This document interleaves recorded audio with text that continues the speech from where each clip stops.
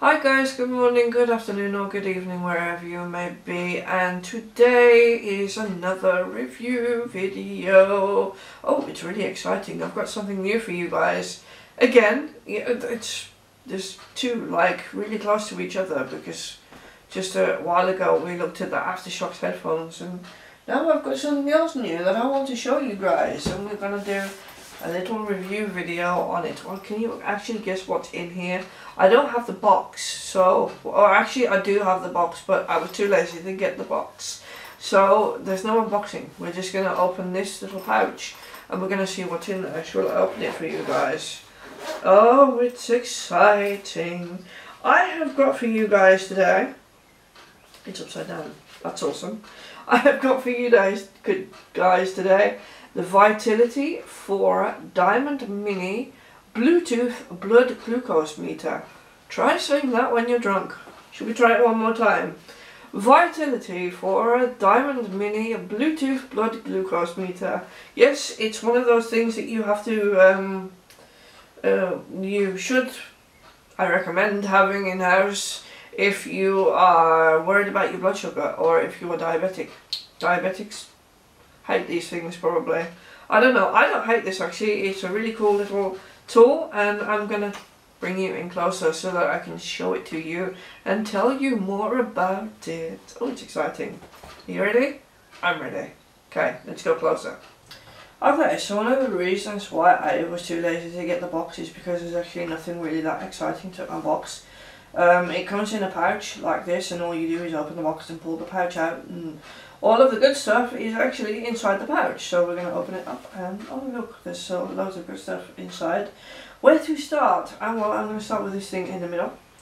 And in Dutch this thing is called a prikpen. And in English I have no idea what the correct term is, but I'm going to call it a lancet pen because basically what it is is a pen shaped object that uh, you load a lancet into preferably without twisting the wrong part because that's not clever. You uh, basically twist the top off there like that and you load the lancet into it and take the top off the lancet, put this thing back on and then you use the button in the middle to shoot it into your finger and it makes the finger bleed so that you can uh, check your blood sugar level. So this is this is the Lancet pen. Uh, normally you'd pull it back with the lancet in and then there's this button here that you do. You push to release the lancet. So that's those things. Speaking of lancets, there are, it comes with 10. I have already used one. uh, it comes with 10 and obviously there are more available to purchase. So these are the lancets. I'm obviously not going to take the top off one, but I will take one out of the bag just to show you in more detail what they look like. So these are the lancets, you pull this, you twist this bit off and there's a needle underneath, um, which is the very sharp object that makes your finger bleed. So these are the lancets. Uh, it also comes with test strips. And the test strips are the things that uh, draw the blood and they go into the machine. You put it into the machine before you draw the blood, of course. You put it into the machine, you poke your finger, you shove this under the blood and it will draw the blood into it so that it can let the machine measure how much blood, glu blood glucose is in your body. So these are the test strips. Um, it also comes with 10 of these and there are obviously more to purchase. So those are the test strips. Uh, let's see what else it comes with. It also comes with a charger, a wall charger, and it comes with a USB, mini USB to USB cable. Um, this is also a data cable, or at least I think it's also a data cable, uh, for uh, transferring the data from the device to a PC. There is no Mac accessible program, but that doesn't matter because it's also a Bluetooth device. So this is your charger and charging cable um, so that it can be recharged because it has a rechargeable battery inside. And the last thing in the wonderful pouch, oh no that's not the last thing, the Lancet pen also comes with a clear top and I have read somewhere that the reason why it comes with a clear one is because uh, this this one that's on the end of here is poking your fingers and this one is for poking places in the rest of your body. So if you need to get blood out of your leg or uh, your arm or somewhere like that then you need to use the clear one. That's what I've read. It's, you guys are experts on things like this. So you can tell me if you're wrong but that's something else that came in the case. And then of course there is the blood glucose meter itself So this is the Vitility Fora Diamond Mini Blood Glucose Meter. Uh, why is it called the Vitility Fora? Well, it's made by a manufacturer called Fora that you that you can probably see on the back of the device. That is if I don't have it upside down. Oh look, I am good. I don't have it upside down today. Uh, but it's uh, endorsed by a company called Vitility, and the reason it's endorsed by them is because it comes with an application which you download onto your iOS or Android device and this application is what communicates with this thing when it's connected to your phone with Bluetooth and that app is made by Vitility. So that's why it's called the Vitility Fora I keep wanting to say Flora but Flora is something completely different uh, it's very lightweight I don't know exactly how much it weighs. Less than 50 grams, that I know for sure. It's super, super light. I know the Aftershokz headphones that I have here weigh 41 grams. And this is lighter. So this is this is definitely less than 41 grams. Uh, it's very small. It's in the palm of your hand like that, so it's not very big at all. Uh, it's black and it come it's black and white. It only comes in one color. It's not very complicated to use. On the left side of the device is the port where the test strips go. On the right hand side of the device is under this wonderful rubber flap here. There is a data port where your USB mini USB cable goes into and that is for charging or transferring the data to a PC on the back of the device somewhere ah, here there's a little hole here and inside there is a set button and the only way to push the set button is to poke in the hole with a pin uh, and on the front of the device is a navigation button it's basically used to turn it on, turn it off and navigate through your blood glucose results if you want to view them back on the meter itself. Um, it measures in MMO slash L. I don't have any clue how you pronounce that properly, but that's what it measures in. It measures from 1.1 to 33. It actually doesn't display results lower than 3.8, I believe. But it can measure, it does re register up to or as low as 1.1 and as high as 33 but the results that it displays are something from 3.8 to uh, 16 or something like that. Uh, that's a rough guess. I did read the specifications and now they've gone completely out of my head. Um, it's, uh, yeah, it can an up to 450 different results. Once the memory is full, it will delete the oldest results and replace that with the newer ones.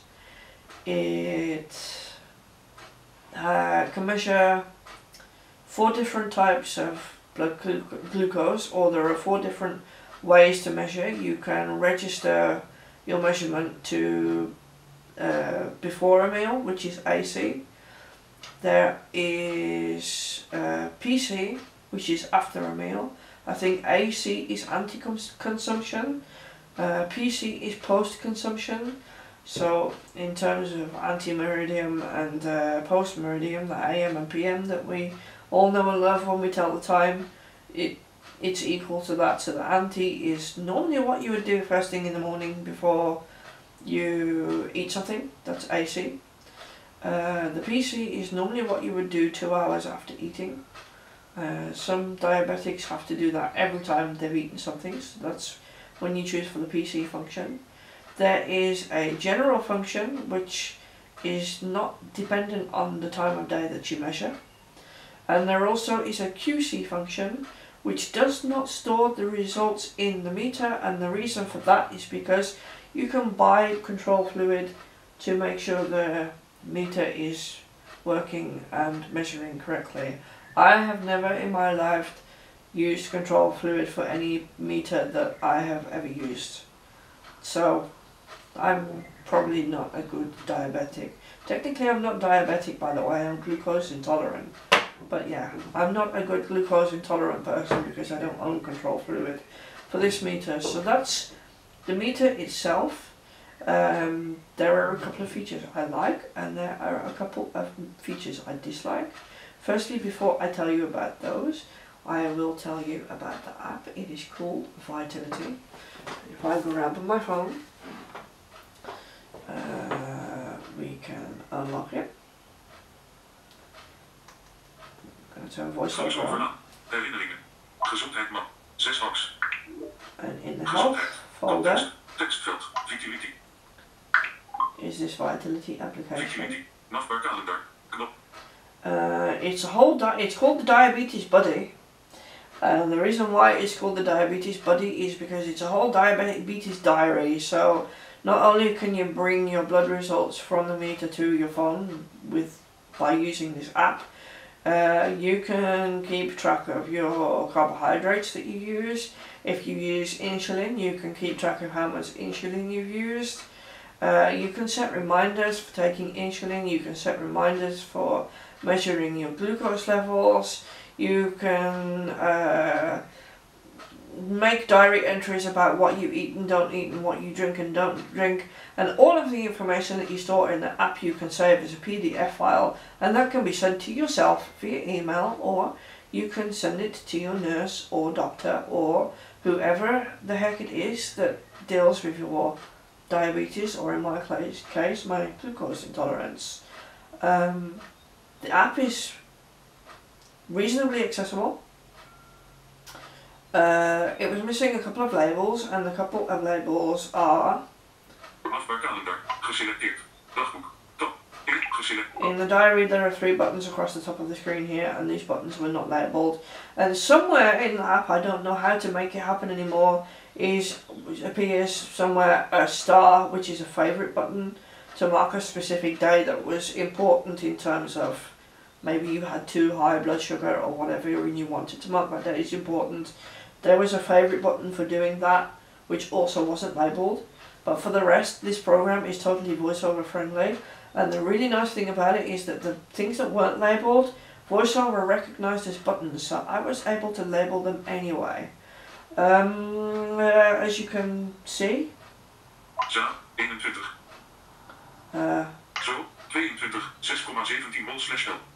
my sugar level on Sunday was a little bit too high because it was 6.1 and I would prefer it to be lower than that but that's the whole reason why I got this meter because I need to get that under control.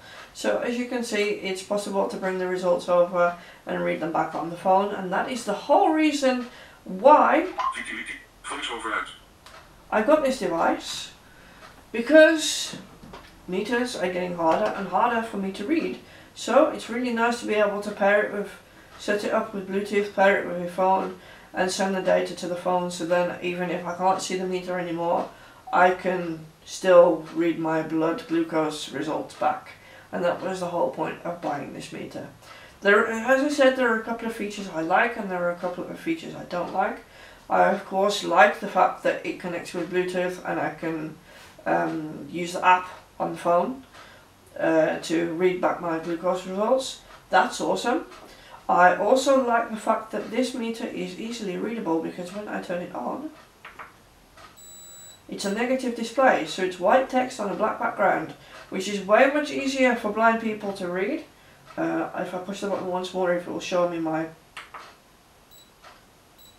blood results from Sunday, which is of course the 6.1, which you also saw in the phone. So as you can see, the display is super easy to read because it's super big and super bright.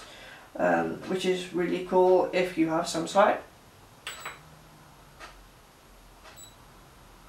Uh, what else do I like about it? It's small, it's lightweight, it comes in that awesome pouch which is really easy to carry around.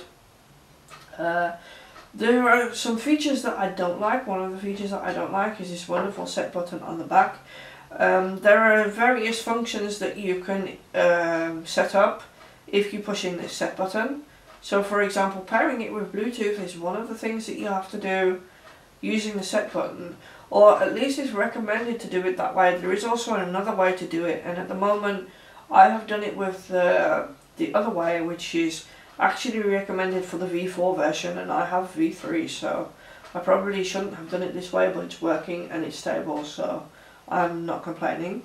But one of the reasons you use the set button for is for pairing the thing with your phone. Um, you need to push the set button also if you want to set the internal alarms which remind you to take your blood sugar measurements. And there are also other things in there like the option to clear the memory if you want to clear the whole memory. That's also something else that needs to be done with the set button. I don't like that function.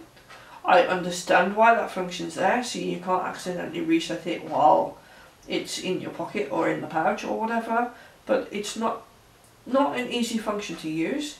Definitely something I couldn't use independently because you need to be able to see it to do that anyway. And that's something I don't want to strain my eyes for, so it's something I have to ask for help with. Luckily, I don't have to do regular blood measurements, so I don't need to set any alarms. But that's a feature I didn't like. The other feature I didn't like is I picked the pouch up out of the closet earlier on. Yes, I keep my blood glucose meter in my closet. That's that's a secret that is now out and I can't do anything about it. But I picked it up from the closet earlier on and it beeped. I heard it beep and switch itself on while I grabbed the outside of the pouch.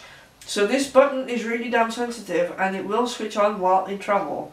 That's not good because then it drains the battery. And if I all of a sudden feel like crap and think, hmm, maybe I should take my blood sugar, could be empty. And that could be an issue. So that was that is also one of the features I don't like. Um, it does make high-pitched beeping sounds, which uh, for somebody who's hard of hearing like me, they're not particularly very easy to hear. But for somebody who's only visually impaired, uh, you can use those sounds to navigate the meter.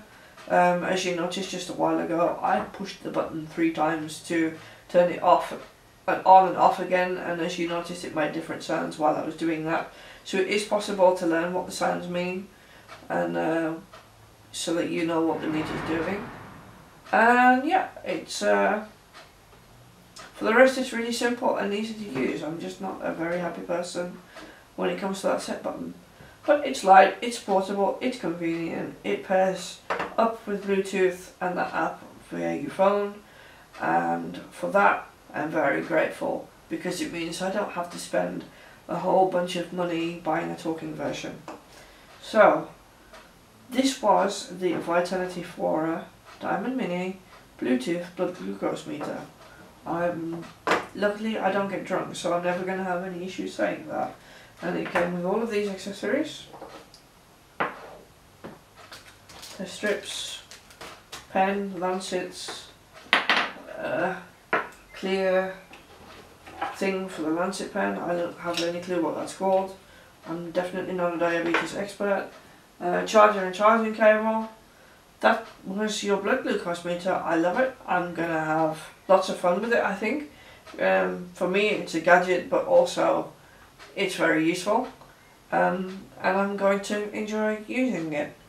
Although the pen hurts when you poke your finger with it. I will never get used to that. But for the rest, it's an awesome product. I'm very happy that I bought it, and um, yeah, I'm going to enjoy using it. So that was it, guys. That was your review for today. I hope it was informative, and I hope you guys enjoyed watching. Until next time, be good, and if you can't be good, have fun.